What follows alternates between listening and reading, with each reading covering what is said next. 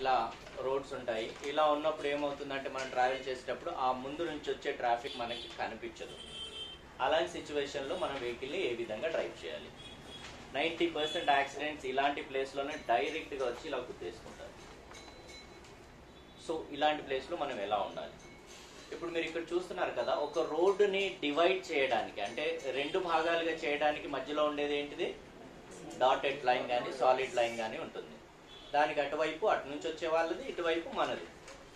ఇప్పుడు మనం exact dotted line పక్క నుంచే ఒక వెహికల్ని తీసుకెళ్తున్నాం మనం. ఒక డాటెడ్ లైన్ పక్క నుంచే మనం ఒక వెహికల్ని తీసుకెళ్తున్నాము. ఆ ఎదురు నుంచి కూడా ఒక డాటెడ్ లైన్ పక్క నుంచే వెహికల్ వస్తుంది. కదా? ఈ రోడ్లో మనం డాటెడ్ లైన్ పక్క నుంచి వెహికల్ని తీసుకెళ్తున్నాము. ఎదర్ నుంచి కూడా ఒక డాటెడ్ లైన్ పక్క నుంచి యాజ్ రూల్ ప్రకారంగా తను కూడా వస్తున్నాడు.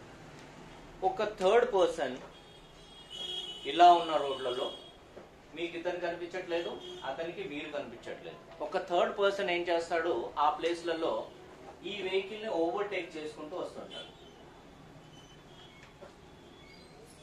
మనము డాటెడ్ లైన్ పక్కన ఉన్నాము ఇతను ఉన్నాడు. ఇతను ఓవర్టేక్ చేసినప్పుడు ఎక్కడ ఉంటాడు సెంటర్లో ఉంటాడు ఇతను.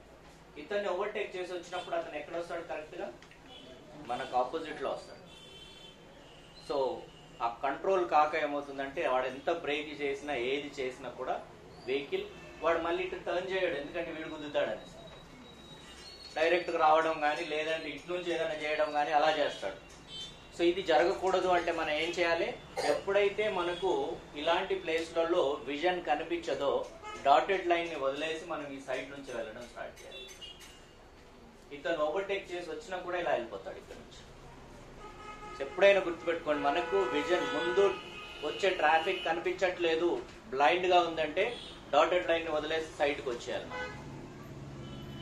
ఇలాంటి ప్లేస్లో ఉన్నాం. అదే ఇదే సేమ్ ఫార్ములా మళ్ళీ ఎస్ బ్యాండ్ దగ్గర కూడా వస్తుంది. ఇలా ఉంటాయి కదా రోడ్లు అక్కడ కూడా మనం చివరికి వచ్చేసేయాలి. మీరు కరెక్ట్ గానే వెళ్తున్నారు అటు నుంచి వచ్చేవాడు కరెక్ట్గా ఓవర్టేక్ చేసేవాడు కరెక్ట్గా చేయడు.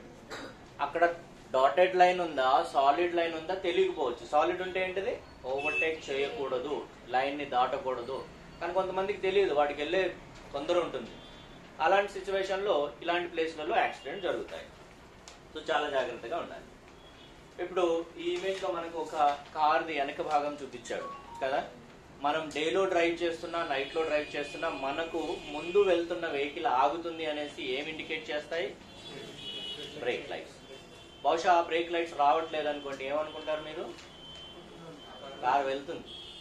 ఎక్స్పర్ట్స్ ఉంటేనే దాన్ని విజువల్లీ చూసి ఆగుతుంది అని అనుకోవచ్చు న్యూ లర్నర్స్ అయితే తెలియదు సో ఇక్కడ ఈ పైన కూడా ఒక లైట్ వస్తుంది. ఇక్కడైనా రావచ్చు ఇక్కడైనా రావచ్చు కొన్ని వెహికల్స్కి కదా? బ్రేక్ చేసినప్పుడే వస్తుంది అది. బ్రేక్ చేయనప్పుడు రాదు అది. సో దీన్ని థర్డ్ బ్రేక్ లైట్ అంటారు. ఇంతకు ముందు పాత వెహికల్స్లో వచ్చేటి కాదు ఇది. తర్వాత ఈ ట్రాన్స్పోర్ట్ అథారిటీ వాళ్ళు ఏం చేశారు? దీన్ని కనుగొన్నారు. ఇది ఉండడం వల్ల ఏమైందంటే వెహికల్ వెనకాల నుంచి డా గుద్దుకోవడం తగ్గాయి. ఇంతకుముందు ఇవి రెండే ఉండేటి బహుశా ఒక దాంట్లో నుంచి బల్బు పోయింది అనుకోండి అది వెలగదు. ఒకటే వస్తుంది.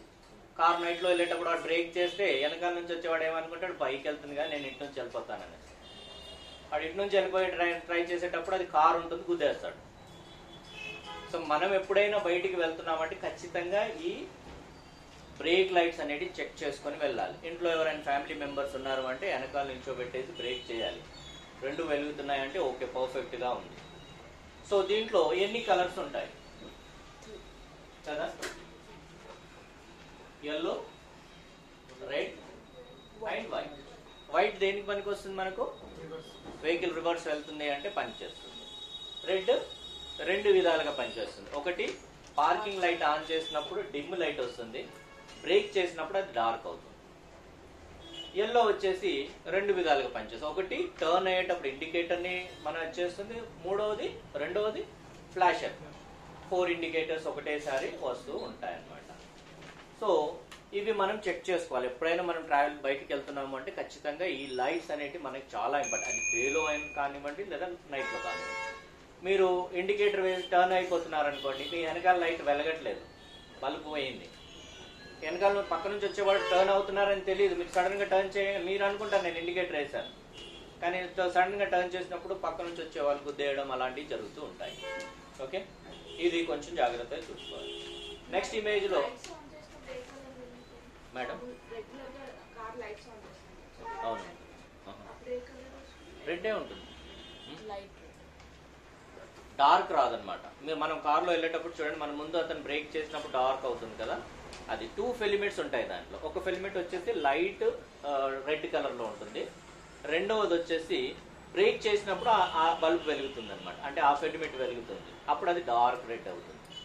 మామూలుగా మనం పార్కింగ్ చేసినప్పుడు లైట్ గానే ఉంటుంది. ఫోర్ ఇండికేటర్స్ అన్ని వెలుగుతుంది? పర్పస్ ఫోర్ ఇండికే ఎమర్జెన్సీ స్టాప్ అన్నమాట ఎక్కడైనా మీరు ఒక టూ మినిట్స్ కోసం లేదా మీరు వెహికల్ పార్క్ చేశారు లేదా వెహికల్ ఏదైనా ప్రాబ్లం వచ్చిందో ఆ విధంగా ఆపడానికి అది అంతే.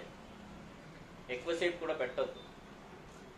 పార్కింగ్ లేని ప్లేస్లో చాలామంది చాలా మంది ఏం చేస్తారు ఎక్కువసేపు ఇది వేసేస్తే ఏం కాదు కదా అనేది అది వేసేసి వెళ్ళి షాపింగ్ చేస్తూ ఉంటారు. అది ఓన్లీ ఒక టూ మినిట్స్ త్రీ మినిట్స్ కోసమే. ఎందుకంటే ఆ ఫ్లాష్ ఇలా కొట్టుకొని కొట్టుకొని ఏమవుతుంది అది హీట్ అయిపోయి డైట్ బోర్డ్ నుంచి ఫైర్ రావడం స్టార్ట్ అయిపోతుంది. ఇంతే ఉంటుంది అది ఫ్లాష్. అది జస్ట్ ఎమర్జెన్సీ కోసం ఇచ్చాడు. రెండవది మనం ఇమేజ్లో చూసిన